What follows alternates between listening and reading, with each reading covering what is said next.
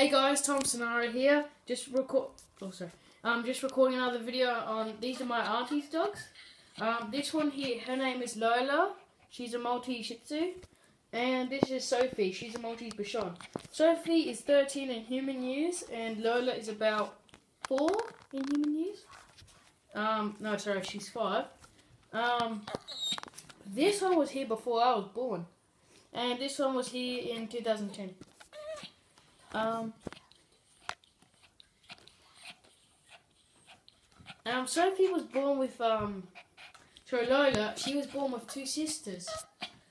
Um, the first time that I saw her with my mum and my aunties, um, she was just running around like, cause in the, in the pet store there's like a little cage thing where you can play with it.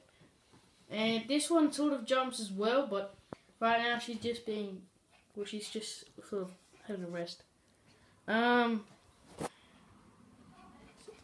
uh, Um, and Sophie, uh, she, well, they recently just had a bath. Sorry if you can hear noise in the back. It's just because I'm not sure they know I'm recording. And yeah, so, yeah, Sophie just wants to get down from the bed. Oh, Sophie, they'll be, they'll be over soon. And um, here's Lola. Okay, thank you for watching my video, and I hope you see. And, I uh, hope you enjoyed the rest of my videos. Like and subscribe, and see.